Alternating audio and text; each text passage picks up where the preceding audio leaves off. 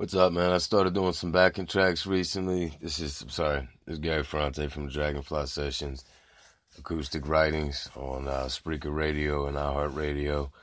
So I've I've been working on some tracks again. You know, sometimes it's ideas of social politics and how music, etc., etc., ties in the writings of how the mind creates the lyrics essentially for the writings by the use of those uh, data points and so on and so forth. This is um, kind of culturing what I haven't really been able to say because of certain uh, respect issues, but I was trying to encompass that notion in sound, so I've been working on this track.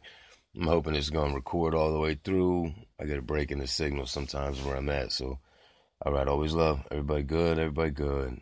All right.